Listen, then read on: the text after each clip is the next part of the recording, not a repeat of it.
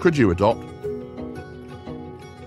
I went into the process with a lot of fears, concerns, being a same sex couple, that there would be these prejudices. And actually, one thing I learned very quickly, and it came from the, the, training days that you go through adoption doesn't discriminate. Whether you're a single adopter, same sex couple, heterosexual couple, the process doesn't care.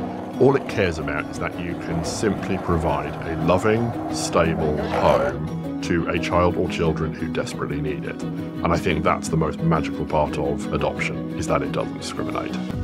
Could you adopt? Find out more at norfolk.gov.uk forward slash adoption.